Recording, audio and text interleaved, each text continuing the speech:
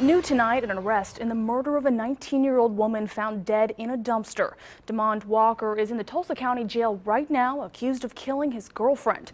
Two Works for You reporter Katie Wisely is live there tonight with what led to Walker's arrest. Katie? Corey, good evening. TPD tells me Walker was brought in earlier this morning for questioning. He now faces a charge of first-degree murder. Police say Walker called them at 5:30 this morning to report his girlfriend was missing.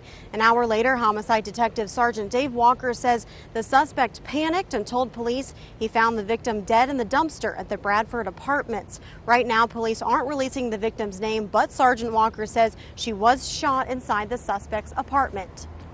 Everybody's pretty much in agreement that if you call in your, your wife or your significant other as as missing, you, you don't ordinarily would go to the trash dumpster and, and look for.